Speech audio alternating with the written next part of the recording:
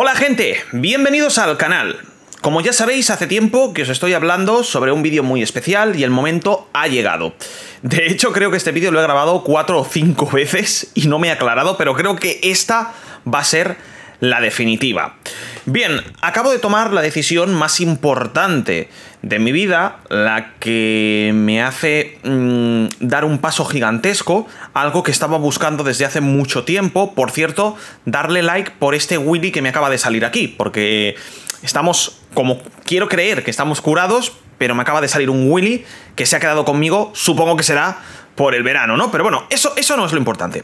Eh, Hoy quería hablaros como no como creador de contenidos y como la, como la persona que está detrás de esto y agradecer a diferentes personas esta decisión que he tomado y que pensaba que iba a llegar más tarde de lo normal, pero ha llegado ahora, se ha presentado la oportunidad y os lo voy a comentar, ¿vale? Porque para mí vosotros sois muy importante en mi día a día y Dios, no puedo creer que esté, que esté nervioso.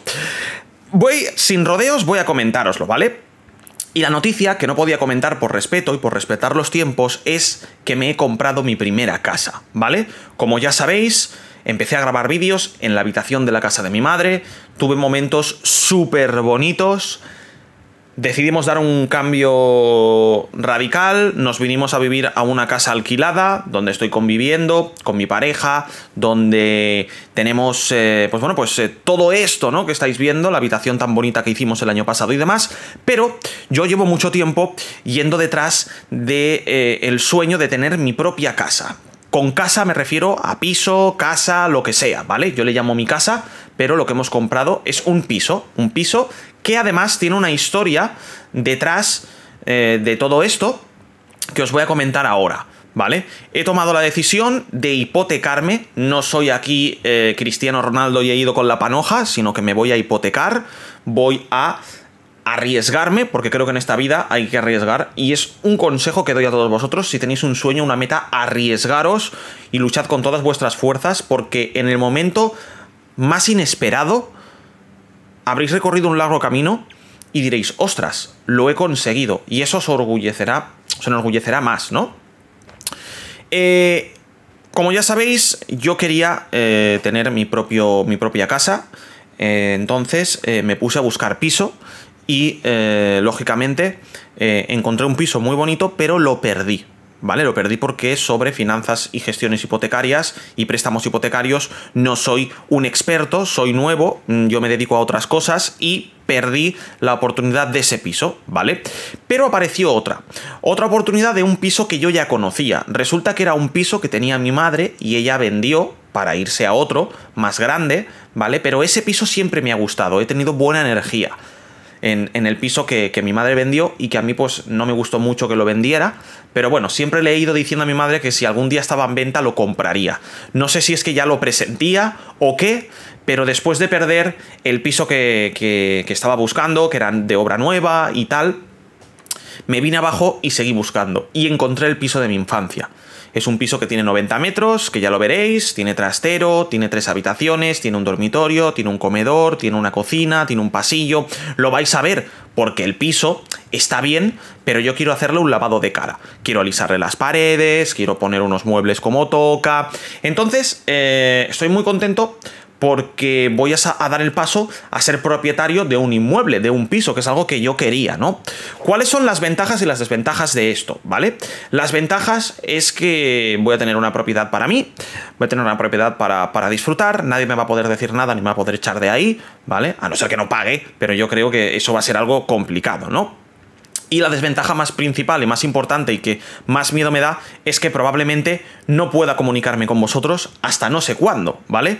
Porque la compañía de internet con la que estoy ahora, pues resulta que si hago un cambio de domicilio, ya ves tú qué tontería, pues resulta que se me va la tarifa y que probablemente pague una penalización. Bueno, eso lo, voy a arreglar, ¿vale?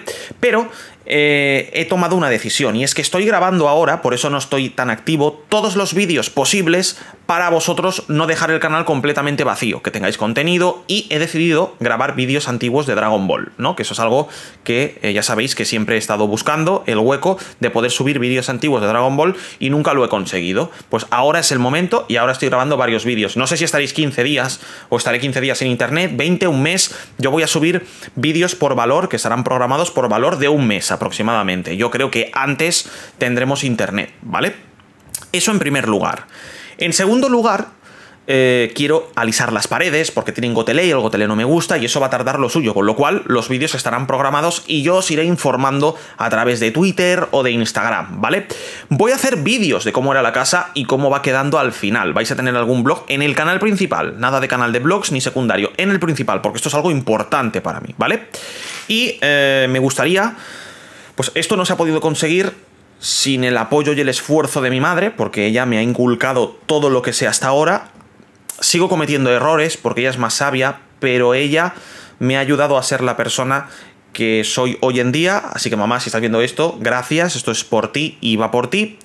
También en mi trabajo, porque tengo la suerte de tener un trabajo en el cual me esfuerzo mucho y me gano todo lo que, lo que me han dado, pero sí que es verdad que he tenido esto, este trabajo no, no hubiese crecido tan rápido si mi jefa no hubiese estado ahí detrás, no voy a decir el nombre por la política de privacidad de datos, pero si mi jefa no hubiese estado detrás, probablemente no hubiese llegado donde he llegado ahora. Así que también tengo que agradecérselo a ella, aunque muchas veces discutamos o muchas veces es por un bien común, que es sacar la empresa adelante y a mí me gusta pelearme y me gusta cabrearme porque hay un fallo en la empresa, porque eso significa que tengo interés en remediarlo, tengo actitud y eso es lo que me ha llevado hasta aquí. Y mi empresa Digo mi empresa porque no es mía, pero es como si lo fuera. Es una parte fundamental de mi vida, porque es eh, a lo que yo he decidido dedicarme seriamente y mostrar toda mi atención. Y he dejado YouTube, sí que es verdad, un poquito como un hobby, porque esto es un hobby, no quiero que se convierta en un trabajo, pero mi trabajo tengo la suerte de primero, que me gusta, segundo, que me importa y tercero, que quiero evolucionar a la vez que la empresa va evolucionando positivamente. Así que a mi jefa le tengo que dar las gracias por lo que me ha enseñado, por lo que me está enseñando y por lo... Eh, por las herramientas que me ha podido otorgar, ¿no? Luego a partir de ahí pues sí que es verdad que yo me he ganado todo lo que he ido haciendo porque lo he hecho con esfuerzo, con sacrificio, con atención y dando todo lo que puedo de mí. Entonces, eso sería en segundo lugar. Y en tercer lugar, y por eso no he querido subir el vídeo más adelante, porque todavía no hay fe, no, no tan pronto, perdón, porque no hay fecha todavía estipulada para cambiarme. Esperemos que sea a finales de agosto, pero no sé si se va a retrasar o no. Eh, por último, quiero agradecer eh, esto a mi casera. Mi casera, que tampoco voy a decir el nombre por política de privacidad de datos y porque le puede sentar mal, mi casera... He tenido la suerte, porque tengo suerte en esta vida, la verdad. Eh, todos tenemos buena suerte y mala suerte. También tengo mala suerte, pero eh, en este caso he tenido bastante suerte en los tres puntos más importantes, que es en la familia, en el trabajo y en la salud, toco madera.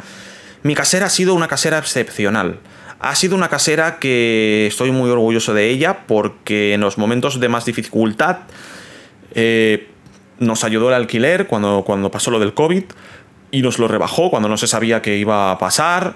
Eh, nunca nos ha dado ningún problema. He querido pintar la habitación y me ha dicho que no ha habido ningún problema. Y le he pintado la habitación, le he pintado el pasillo, le he pintado la entrada. Y no ha habido nunca ningún problema. Y cuando le dije que estaba buscando eh, una hipoteca o que podría cerrar la venta de la compra de, una, de un piso, de una casa, ella me dijo: tranquilo, no te preocupes, te voy a dar el tiempo con que me avises con dos semanas es suficiente. Y eso en las personas lo valoro mucho, porque una persona te puede decir mucho, pero si esta persona te demuestra las cosas con actos, creo que dice más que unas simples palabras. Y estoy muy orgulloso de mi casera porque la verdad es que desde el primer momento hasta el último se ha portado muy bien con nosotros. Estoy súper agradecido y si tuviera que alquilar o buscarme un alquiler en un futuro o otra cosa, me gustaría volver a coincidir con ella porque la verdad es que... Eh, se ha comportado muy muy bien, como persona es un 10 y como casera también, con lo cual debo de agradecerle y darles las gracias porque con este pequeño cúmulo de cosas, con mi madre por un lado, con mi jefa por un lado, con la casera por otro lado, conmigo por otro lado, he podido conseguir pues aquello a lo que estamos llegando ahora, ¿no?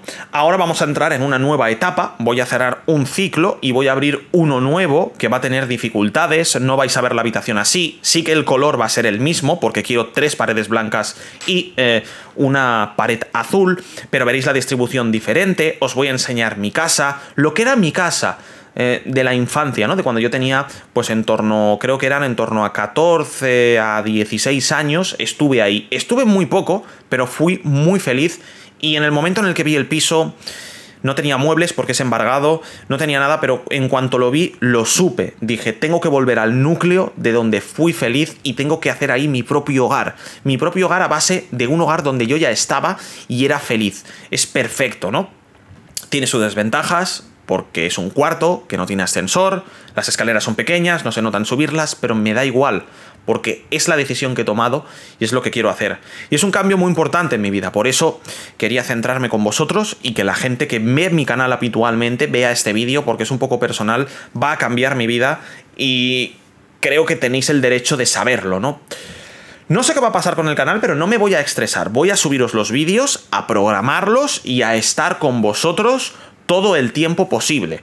Probablemente no notéis que me he cambiado porque vais a tener vídeos programados o probablemente se alargue la cosa porque en una obra no se sabe y probablemente no tengamos internet o estemos un tiempo sin internet y probablemente sí que notéis esa ausencia. Voy a hacer todo lo, posible, todo lo posible para que no notéis esa ausencia, pero como ya digo, eh, voy a estar aquí. Eh, Voy a hacer todo lo posible por seguir comunicándome con vosotros. Vamos a disfrutar de un montón de aventuras juntos. Queda Mark para rato, queda canal para rato, quedan blogs para rato. Os enseñaré mi casa, os enseñaré todo el proceso de obra y cómo estaba, cómo está ahora y cómo va a acabar al final.